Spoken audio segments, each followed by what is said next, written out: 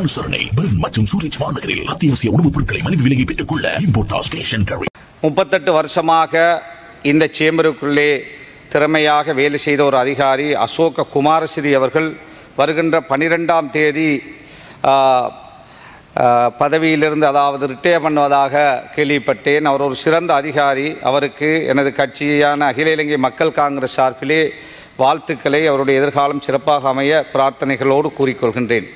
அதேபோல இன்று நான் இங்கு வருவதற்கு முன்னர் ஜனாதிபதி ஏப்ரல் இருபத்தோராம் தேதி நடைபெற்ற குண்டு தாக்குதலினால் பாதிக்கப்பட்ட மக்களுக்கு நியாயம் பெற்றுக் கொடுப்பதற்காக நடைபெற்று வருகின்ற ஜனாதிபதி ஆணைக்குழு அங்கு நான் நேரடியாக சென்று இரண்டு தினங்களுக்கு முன்னர் அமைச்சர் விமல் வீரவன்ஸ் அவர்கள் இல்லாத பொல்லாத பொய்களை என் மீது என்னுடைய சகோதரர் மீது அதே போல இன்னும் எமது சமூகத்தின் மீதெல்லாம் சுமத்தியதை அந்த விசாரணை குழு கமிட்டிக்கு அதாவது கௌரவமான நீதிபதிகளை கொண்ட அந்த விசாரணை குழுவுக்கு நான் நின்று போய் விசாரணையுடைய அறிக்கை வருவதற்கு முன்னரே விசாரணையில் உள்ள விஷயங்கள் அந்த விசாரணையிலே இவ்வாறு இவ்வாறெல்லாம் முடிவு காணப்பட்டிருக்கின்றது என்ற ஒரு பொய்யை அபாண்டத்தை இந்த நாட்டிலே சொல்லி தன்னுடைய அரசியல் இருப்புக்காக விமல் வீரவன்ச செய்திருக்கிறார் என்ற செய்தியை இன்று நான் எழுத்து மூலமாக என்னுடைய சட்டத்தரணி ருஸ்தி ஹபீப் ஊடாக ஜனாதிபதி ஆணைக்குழு ஏப்ரல் இருபத்தொன்று பாஸ்கோ ஜனாதிபதி ஆணைக்குழுவுக்கு சமர்ப்பித்து விட்டு வந்தேன்.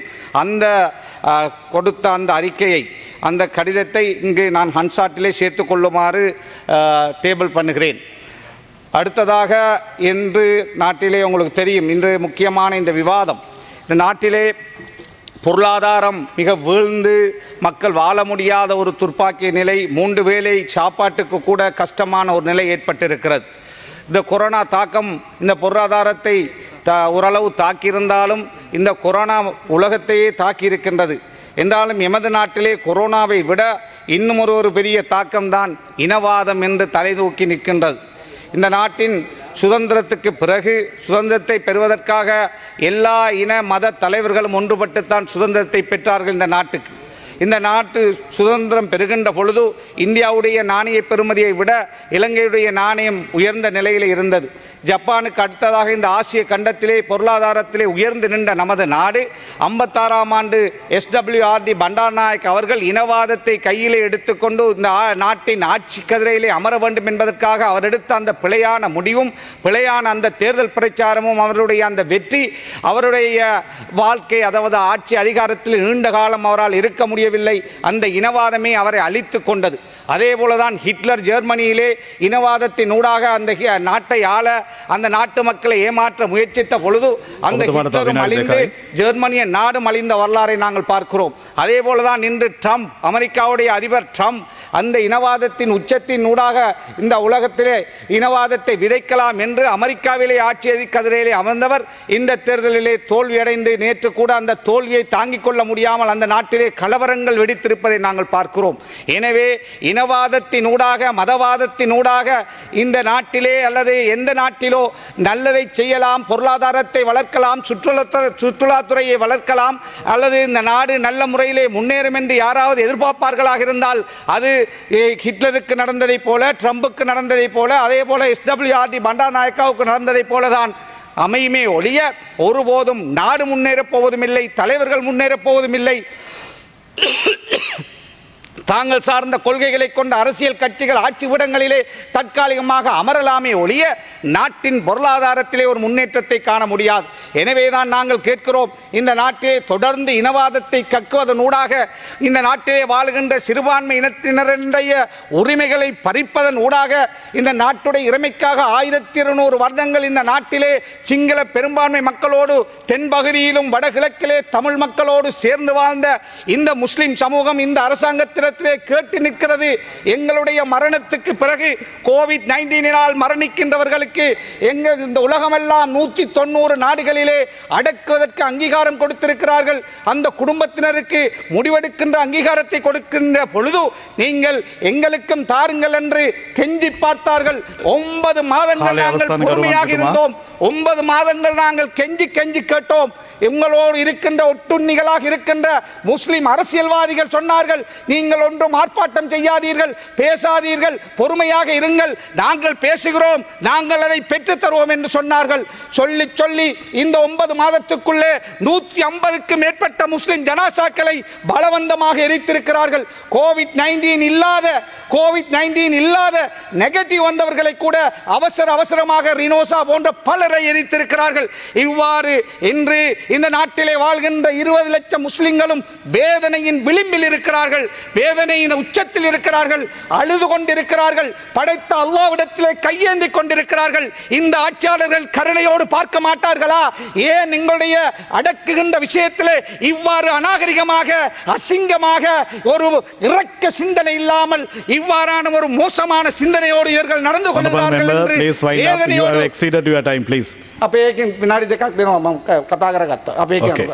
எனவே எங்களுடைய இந்த ஆட்சியாளர்களிடத்தில் நான் கேட்கிறேன் நீங்கள் இந்த முஸ்லிம் சமுதாயத்துடைய மையத்துக்களை எரிப்பதனூடாக உங்களுடைய வாக்குகளை அதிகரிக்கலாம். அடுத்த பாராளுமன்ற தேர்தலிலே அடுத்த ஜனாதிபதி தேர்தலிலே வரப்போகின்ற மாகாண சபை தேர்தலிலே அல்லது உள்ளூராட்சி மன்ற தேர்தலிலே அதிக ஆசனங்களை பெறலாம் என்று நீங்கள் எண்ணுவீர்களாக இருந்தால் அது இது இந்த இருபது லட்சம் முஸ்லிம்களை அவர்களுடைய வேதனைக்குள்ளே ஆக்குவது மட்டுமல்ல இந்த உலகத்திலே வாழுகின்ற ரெண்டு தசம் அஞ்சு பில்லியன் முஸ்லிம்களுடைய உள்ளத்தை உடைக்கிறீர்கள்.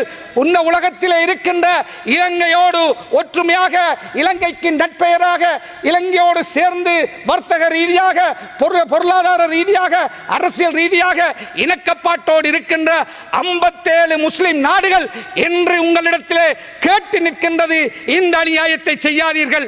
நூத்தி தொண்ணூறு நாடுகளிலே புதைக்கும் கோவிட் நைன்டீனால் மரணிக்கின்றவர்களை புதைக்க முடியுமாக இருந்தால் ஏன் இந்த இலங்கையிலே மட்டும் முடியாது என்று உலக முஸ்லிம் நாடுகள் இன்று கேட்டு நிற்கிறது என்று லண்டனிலே ஆஸ்திரேலியாவிலே அமெரிக்காவிலே இந்தியாவிலே ஜப்பானிலே சுவிஸிலே பிரான்சிலே கட்டாரிலே மத்திய கிழக்கு நாடுகளிலே வாழுகின்ற இந்த நாட்டின் மீது பாசம் கொண்ட இளைஞர்கள் தூதரவாளங்களுக்கு முன்னால் தக்பீரை சொல்லிக் கொண்டு இந்த நாட்டின் சிங்க கொடியை கையிலே ஏந்தி கொண்டு இந்த நாட்டின் நிலைமையை இந்த நாட்டிலே வாழ்கின்ற ஆயிரத்தி ஒரு வருடங்கள் இந்த நாடு பிளவுபடக்கூடாது கூடாது. இந்த நாடு ஒரே நாடாக இருக்க வேண்டும் என்று ஆசைப்பட்ட பாடுபட்ட ஒரு லட்சம் முஸ்லிம்கள் அகதிகளாக்கப்பட்ட பொழுதும் காத்தாங்குடியிலே நூற்றுக்கணக்கான பேர் சுஜூதிலே கொல்லப்பட்ட பொழுதும் அதே போல ஏராவூரிலே அங்கு இங்கெல்லாம் அழிந்த பொழுதும் இந்த நாட்டை பிரிவுபட விடக்கூடாது இது நமது நாடு சின்ன நாடு அழகான நாடு. இந்த நாடு பிளவுபட்டு விடக்கூடாது இந்த நாடு ஒன்றாக இருக்க வேண்டும். சிங்களவர்களோடு தமிழர்களோடு சேர்ந்து வாழ வேண்டும் என்று ஆசைப்பட்ட ஒரு சமுதாயத்துடைய உரிமை கடைசியாக மரணித்த பிறகு மத கடமைகளை செய்ய நாங்கள் கேட்கவில்லை. மத கடமைகள் செய்யுமாறு நாங்கள் கேட்கவில்லை. குளிப்பாட்ட கேட்கவில்லை. கபடியிட கேட்கவில்லை. பிரார்த்தனை புரிய கேட்கவில்லை. நீங்கள் எரிப்பதா அடக்குவதா என்றால் இந்த நிறுவனம் சொல்லி இருக்கிறது அங்கே உள்ள எக்ஸ்பர்ட் சொல்லி இருக்கிறார்கள் அடக்கவும் முடியும் எரிக்கவும் முடியும் என்று. எனவே நூத்தி தொண்ணூறு நாடுகளிலே முடியுமாக இருந்தால் ஏன் இலங்கையிலே மட்டும் நீங்கள் அடக்குவதற்கு அனுமதிக்க முடியாது என்று நான் கேட்கின்றேன் ஜனாதிபதியிடம் கேட்கின்றேன் பிரதமரிடத்தில் கேட்கின்றேன் சுகாதார அமைச்சரிடத்தில் கேட்கின்றேன் இந்த அநியாயத்தை தொடராதீர்கள். நீங்கள் செய்வது சாதாரண விஷயம் அல்ல. எமது மக்களுடைய கோவிட் நைன்டீனால் மரணிக்கின்ற மையத்துக்களை எரிப்பது எம் எம்மை உயிரோடு போட்டு இந்த நாட்டிலே வாழ்கின்ற முஸ்லிம் சமூகம் ஆத்திரப்படுகிறது. முப்பது வருஷ யுத்தம் உங்களுக்கு போதாதா?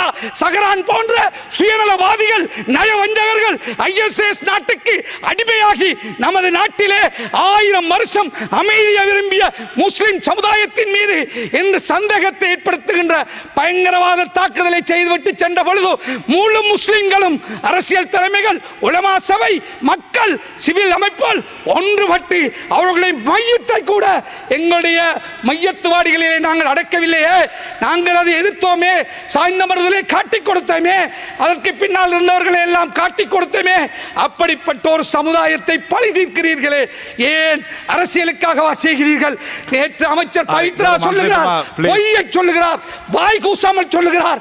அதாவது எக்ஸ்போர்ட் கமிட்டி அதை சொல்லுகிறார். உப கமிட்டி என்று. எக்ஸ்பர்ட் கமிட்டி இங்கே இருக்கிறது.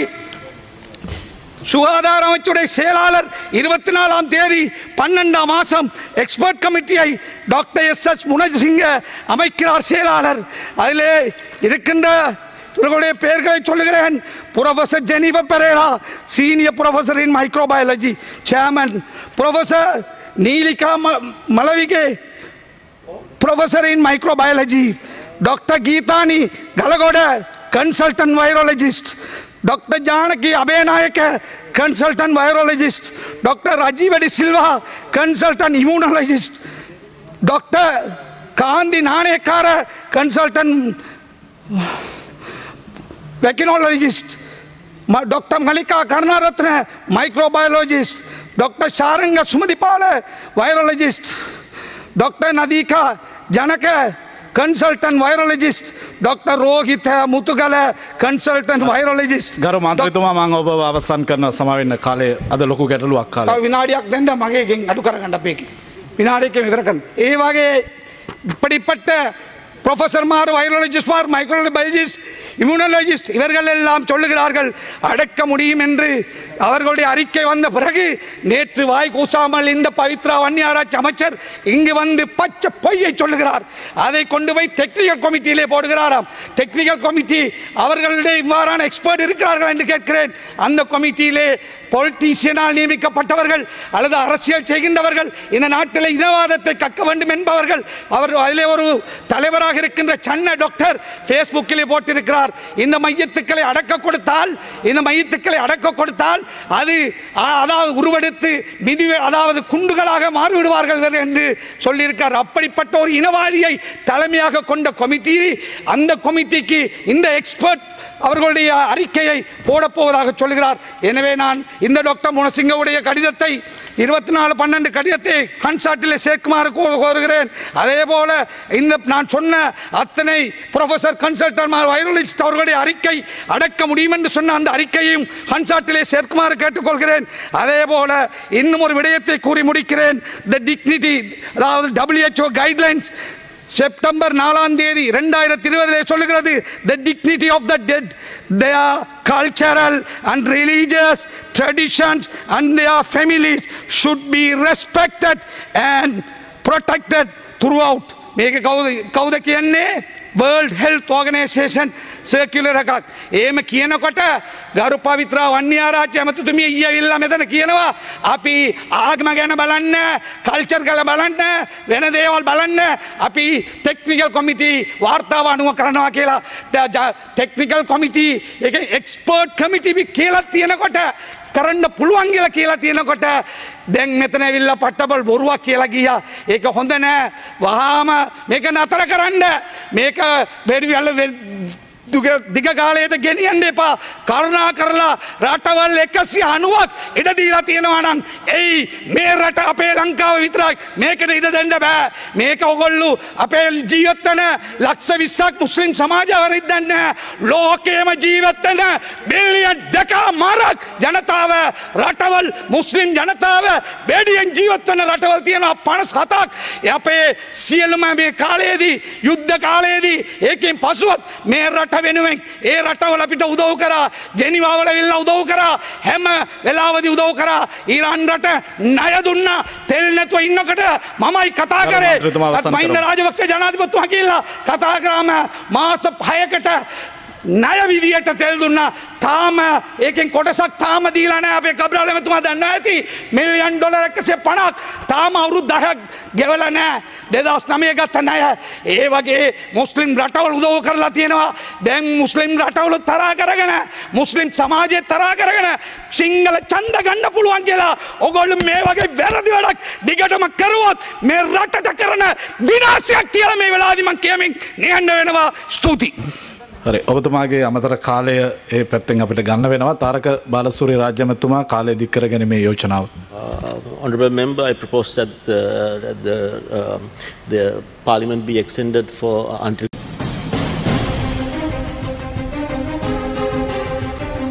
தரணி வாழ் தமிழர்களின் இதய ஒலி தமிழன் டுவெண்டி ஃபோர் டாட் காம்